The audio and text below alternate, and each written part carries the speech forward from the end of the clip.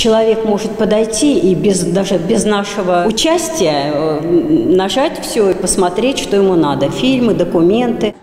Интерактивный киоск в краеведческий отдел поступил буквально вчера. Пока еще ремонтные работы не окончены, и он работает в тестовом режиме, но уже скоро продемонстрирует все свои возможности.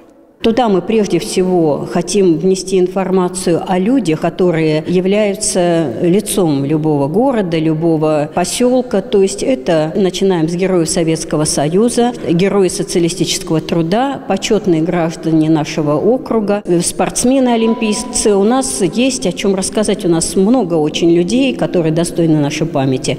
В краеведческом отделе Центральной библиотеки ремонт идет полным ходом. Уже закончены косметические работы, заменены трубы отопления, сантехника.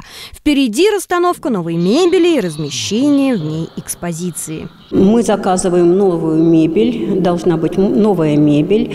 Это будут и стеллажи, это будут и витрины, в которых будут храниться документы, которых много у нас в отделе краеведения. Они собирались тут э, много лет. Это основа музея химкомбината комбината, но все дополнялось, э, пополнялось, э, были различные публикации, это и книги, это и статьи, это и документы, то есть это все требует э, того, чтобы мы свои фонды раскрыли и показали людям как можно шире.